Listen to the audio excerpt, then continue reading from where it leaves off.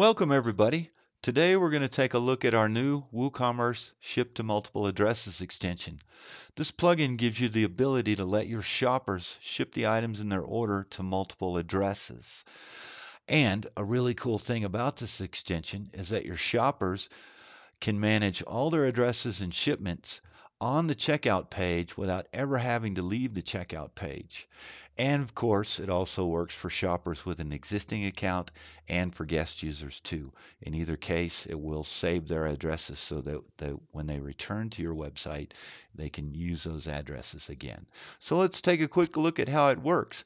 Here on the screen, you can see I have a demo site pulled up that we have, and I have a few items in the cart. So let's go to the checkout page and see how this works.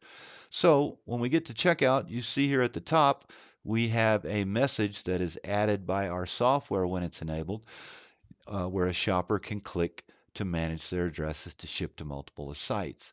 And everything is done on this one little screen. So let me show you. So when I click that, I see a pop-up that appears that shows me my existing addresses and what's in the cart, etc. But just to show you, let me close this. You see we're still on the checkout page. We never really left. We just click this and we see a neat little pop-up. And at the top of the screen, you see my addresses listed for this user account. I've already added a couple of addresses for this user while testing, so they already exist and therefore they show on the screen. If there weren't any in this account yet, all I would see was the add new address button. But let's take a look at this. So for each address that already exists, there's an edit and a delete link. So if I need to get rid of one, I can, or if I want to edit one, I can. Let's see, Joe John Doe at, in Dallas, zip code 75202. I want to edit that. Let's just say, for example, I made a mistake in the zip code. I need to change it, so I'll change it to 201. Save the address, and we look up here. The address is saved, and also in these drop-down boxes, it is also saved. So that's how it works. If I want to add a new address, I simply click the button and I see the same form, except now it's pre-populated with the last used address, which is kind of handy for uh, ease of use. For example, I myself, I have a couple of different addresses I ship to. They're all in the same city. The only thing that changes is the street address and the zip code. So it's it's helpful for situations like that. Or I can just write whatever I want to make a new address. So let's make a, a new address just as a test so I can show you. And we're going to make this Houston and still Texas 77001. I save the address and it appears in my list as expected. And these boxes update to contain the new Joe Doe address I just added. So I now I have three addresses.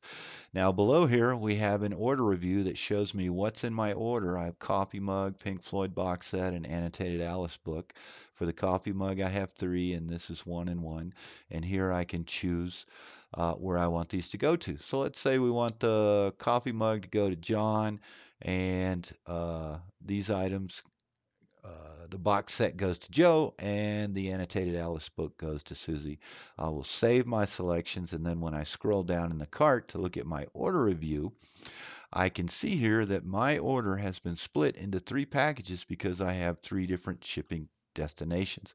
And for each one, I see what's in the order here at the bottom of the list of shipping options and I have shipping options to choose for each item. So maybe I want this one to go priority and this one just standard post and for this one and maybe I want to just pick it up. So I can make individual selections and those are reflected in the cart total. Uh, I'll show you that real quick. Let's just change this from free local pickup to the uh, priority mail and you see the order total updates accordingly. So everything works as expected. But let's go back and take another look at this real quick. Um, for the coffee mug, I have a quantity of three, and I've specified that I want these to go to John Doe. But maybe I don't want all of these to go to John. Maybe I want some of them to go to other people. So if I just click that split quantity link like I just did, um, you see now that I have, instead of one line item with a quantity of three, I now have three mugs with a quantity of one each. And now I'm able to select a specific shipping destination for each one of those coffee mugs. So let's say I want to send two of those to Susie and one of those to Joe. Or let's send it to John. So now I have two going to Susie, one going to John. I have the Pink Floyd box set going to Joe, and Susie is also getting the annotated Alice book. So we have three items going to Susie, one to John, one to Joe. And I will save my selections. And then again, when I scroll down in the order of view, we see Susie getting two coffee mugs. We see Joe getting a coffee mug. And we see John getting the Pink Floyd box discovery set as expected. So also, there's a link here. If I want to reset all of these, I can click this to remove my address selections entirely, at which point I can either come back up and click this again to remanage, or I can just enter regular shipping information as I always do on the shipping section. You'll notice here at the top of the billing and ship to a different address section, uh, there is a drop down box and this drop down box is added by our software and it lists all the addresses that we have in our address book. And you can see here's the one I added while we were doing the demo and here's the two pre-existing. So I can select these and it will pre-populate this form down here with the correct information for me very quickly and easily. And same for here. If I want to do that I can do that. And then when I place the order, I'm just going to leave these set as I have them. So we have two mugs going to Susie, we have a mug going to John, and we have a Pink Floyd box set going to Joe. So when I place the order, all of this information is going to be saved in the order, which I will show you in a moment. Here we go, new order, 2068. I'll go back here to the order screen and refresh that, and I will show you we can look in here and we see we have these items in the order. Uh, but when we scroll down below that, we see that we have three different shipping sections that show the cost for shipping of each item. It shows where they're supposed to go to and which items should be shipped. So Susie should be getting two mugs and the annotated Alice book, etc. And it's going via priority. This one's going via standard, and this one's going via priority because those are what I chose on the checkout page. And so all this information makes it easy for you to look at your order and know what needs to go where. Um, you'll notice below each one of these, there is a box and a little arrow button to update it. This lets you set the shipping status for this particular package if you want to. You don't have to use this feature, but you may find that it's useful for your shopper. So what happens is um, they start in a status of processing when a new order is placed, and you can change them to any order that you have, any order status that you have in your site. Um, refunded, whatever you want to put it on. So, and what'll happen is it will, if you use this feature, it'll send your shopper an email. So if I send this to, uh, click this and say update it to completed, that just triggered an email to my shopper and I'll show you a copy of that. It'll look something like this. This is not the same one that just went out. This one was done a couple of days ago, but they get a message saying, hey, here's your order. The status for these items is processing, etc. So that's how that much of it works. There's also some settings in this plugin that I want to show you that lets you control some of this, um, how some of this works. So you can um, enable and disable. You can also choose um, to disable uh, the multi-shipping when certain matching products are in the cart or entirely when matching products are in the cart. So how this works is um, if you want to disable it entirely when any match is made, um, for these products or these categories, you can do that. For example, if you never want the shopper to be able to split the order, if there is anything in your books category in the order, you can do that. Um, or maybe you want to trigger it based on specific products, you could do that as well. And so again, what happens when you use this setting is that if this mug or anything in the books categories in the cart, the shopper will not be able to ship to multiple addresses for any items in the cart. Um, there's another setting, disable only for matching products. So if I use that, I can um, cause these items to be removed from the multiple addresses. So what, what this means is if the coffee mug is in the cart or any items from the books categories are in the cart, then here, uh, well, I've already closed that, but uh, when you look at the uh, multiple addresses box, these items will not be listed.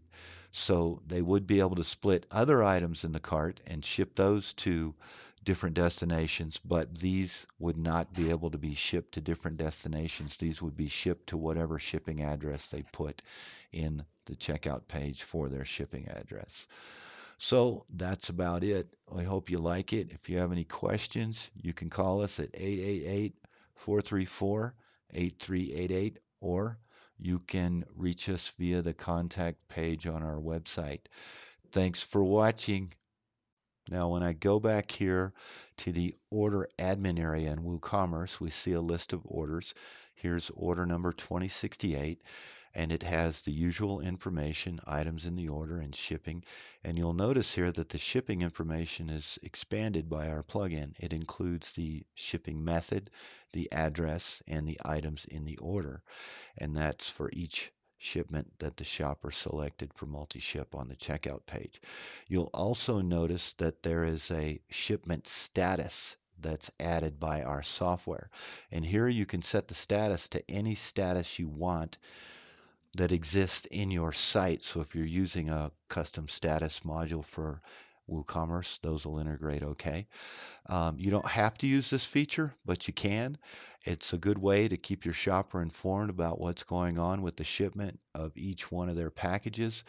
If you do set the status and click update, it will send an email to your shopper. And let me show you what that looks like. This is a sample of the email that goes out.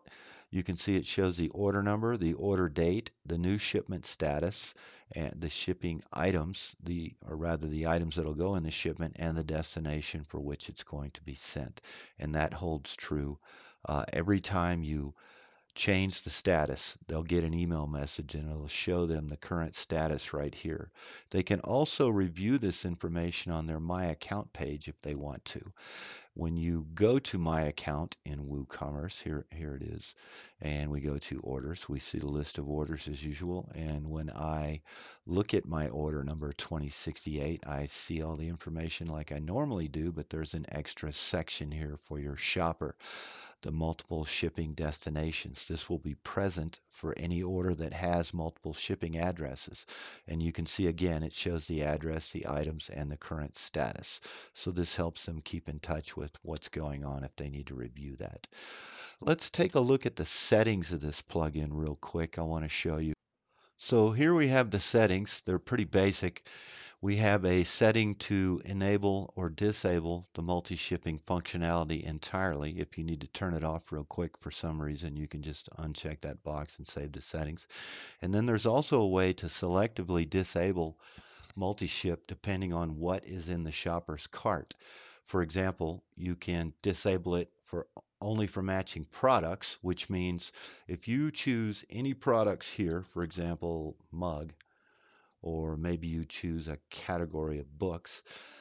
If the shopper has a mug, this mug, this exact product, or any products from the books category in the cart, then those items will not be able to be shipped to multiple addresses. They'll still be able to ship other items in their order to multiple addresses if they have other items in the cart, but not these items. And you can also disable it entirely when anything matches. In this mode, what this means is if this item, this exact product, or any products from the books category are in the cart, then nothing in the cart can be shipped to multiple addresses. So that's two different ways you can disable either part or all of the multi-ship for based on what's in the cart. So that's about it. We hope you like it. If you have any questions, you can call us at 888 434 8388 between the hours of 10 a.m. and 6 p.m. Central Time, or you can use the contact form on our website. Enjoy!